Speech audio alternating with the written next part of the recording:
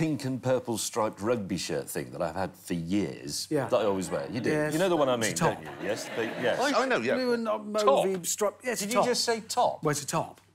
It's not a top. It is not a it's shirt. It's not a t-shirt. It's no, a, it is a top. I'm sorry, I've never said this before in my entire life, and I promise I'll never say it again, but I'm with James May on this. A man cannot wear a top. Ordinarily, no, but that is technically it's a hooped top.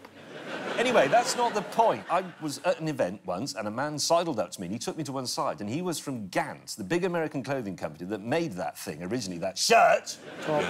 And he begged me, he said, please stop wearing it, please. and then, but it got better than that because he says, if you stop wearing it, you can have as many free clothes as you like. but I still said no because I'm an arse. Yes.